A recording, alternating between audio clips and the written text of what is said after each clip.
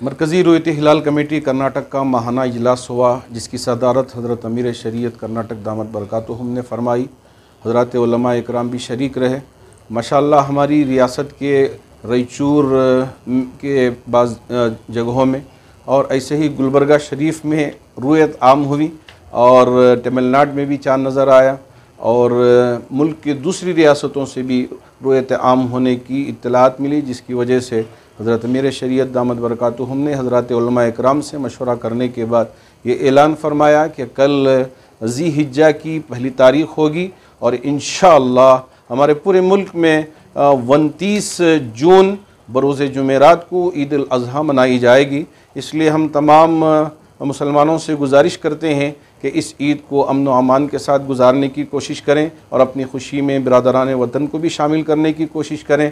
और साथ ही साथ चूँकि ये ईद अज़ी है, यहाँ क़ुरबानी का भी मौका होता है तो हम कुर्बानी के मौके पर ये जितने भी जानवर होते हैं, उनके, उनको ज़बह करने के पास बाद उनकी वीडियो लेना या उनके फ़ोटोज़ लेके शेयर करना बिल्कुल मुनासिब अमल नहीं है। इससे परहेज़ करना चाहिए।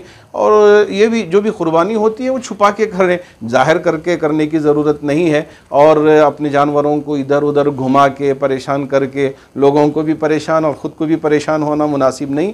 ये अल्लाह रब्ज़ुलजलाल ने बहुत अच्छा मौका दिया है। इस ईद को हम दूसरों के साथ भी खुशियाँ बांटें और उनकी उनको अपनी खुशियों में शरीक रहें। हम उम्मीद करते हैं कि अल्लाह रब्ज़ुलजलाल हमारी पूरी रियासत नहीं बल्कि पूरे मुल्क में अमन अमान के फ़ैसले जारी व सारी फरमाएँगे और हमारी ये ईद बहुत बेहतर तरीके से इन गुजरेगी। जो लोग कुर्बानी देना चाहते हैं वो बाल और नाखून ना कटें हाँ जो लोग कुर्बानी देना चाहते हैं उनके लिए मुस्तहब अमल ये है कि ये जी हिजा की पहली तारीख से जो आज से है तो क़ुरबानी के देने तक वो अपने बाल और नाखून न काटें।